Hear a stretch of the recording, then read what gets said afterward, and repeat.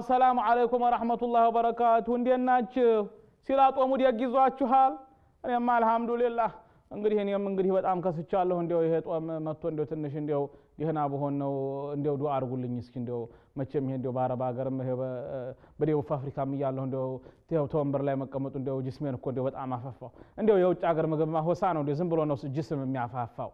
ኧረ አትሻብ ሲላ እንዴት ናችሁ? ደህና ናችሁ? ጦሙስ እንዴት ይዟችኋል ደግ አድርጎ ይዟችኋል። አልሐምዱሊላህ አልሐምዱሊላህ። ዛሬ ደግሞ እንዲያው ወላሂ የሚያስቆጣ ነገር ነው የሰማሁት። አጀብ አጀብ። እንዲያው በአገር ቤት እንዲያው የሚሰማው ወሬ ሁሉ እንዲያው በጣም የሚያሳዝን ነው። ታሁን አሁን ይሻሻላል ብል አሁንማ ከርሞ ብሶበታል አሉ እኮ።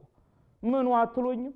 እንዲያው ለተረሃዩ ሶራት እያሉ ኒሳኡ ሁሉ ወንድ ሁሉ እየሄደ እንዲያው በየሻይ ቤቱ ነው የሚያመሸው አሉሳ እንዲያው ሴቶችም ተወንድ ጋር እየተጓተቱ አትሻበኝ አስተግፍሩላህ አልዓዚም እንኳን እንዲያው በረመዷን ወቅት አይደለም በሌላ ወቅት አላህን የሚያስቆጣውን ወንጀል በረመዷን በሌላ ወቅት የሰራነውን ወንጀል ተውብተን ወደ አላህ መጠጋት ሲገባን እንዲያው ተቤተሰቦቻችን ለሶላት ነው የምንወጣው እያለን እንዲያው የምንንዘላዘ እንዲያው አላህን እንፍራ ቤተሰቦችም አላህን እንፍራ እናት አባቶች ልጆቻችን እንዲያው ሶላት እንሄድ ያለን ስላሉ ብቻ እንዲያው ሜዲያ እየሰደድ ይመልቀቅ።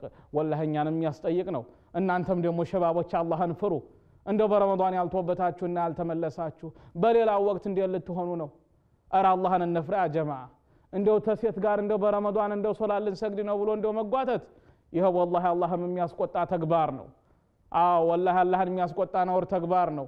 ወላጆችም አማን አለብን ኢማሞችም ደግሞ ዲያዎችም በዚህ ጉዳይ ላይ ተናገሩ። አላህን ፍሩ። እንደው በየካፍቴሪያው እንደው ኢሻዋን እንደው ቶሎ እንደው ቀጭ አድርጎ አረ እንደው አንዳንድ ቦታማ ኢሻ መሰገዱ እንደው እጠራጠራል። አረ ያ ጀማ አረ ያ ጀማ አላህን እንፍራ። አረ ወጣቶቹ አላህ እንደው ይህንን የእሳትነት ወቅታችንን ሰከን አድርገን እንጠቀምበት። ጭራሽ እንደው ወደ አላህ ተውባ በማድረግና በመመለሻው ወቅት እንደገና ወደ ጥፋት እንደገና ወደ ክፋት። ይኸው አላህ አላህን የሚያስቆጣ ተግባር ነው አረ ያ አላህ አላህን እንፍራ። እርስ በርስ ደግሞ አንዱ አንዱን ተው ይበል። መጥፎ ነገር ያየ ረሱል እንዲያሉት የቻለ ሰው በእጁ ይከልክል ያልቻለም ደግሞ በምላሱ ይናገር ያ ካልሆነበት በልቡ ይጥላ እንዲያለው ወንድምና እህቶቻችን ሲጠፉ በየአደባባዩ ስናይ አይተን እንዲያላየ ወደ መስጊድ እየሄድን ዝም አንበል። አላህን አትፈሪም ወይ? አንቺ ረመዷን አይደለም ወይ ብለን ቀስ አድርገን እንናገር። ባይሆን ስንናገር እንደው በቁጣና በሌላ ነገር ሳይሆን ቀስ አድርገን እንደው ገለል እያደረግን እንምከር እንመካከር እንደው ይሄ ወላሂ ትልቅ ጥፋት ነው። ኧረ ሀሻ! እንደው ረመዷን ወቅት በመጣበት እንኳን ሙስሊሙን ቀርቶ ሙስሊም ያልሆነው እንኳን እኒህ ሙስሊሙ እንደው ጦማቸው መጣላቸው እንደው በጦማቸው ሁሉም ሳሊህ ናቸው እያሉ በሚያመሰግን ወቅት እንደገና ጧሊህ መሆንና እንደው መንዘላዘል አላህም የማይወደው ተግባር ነው።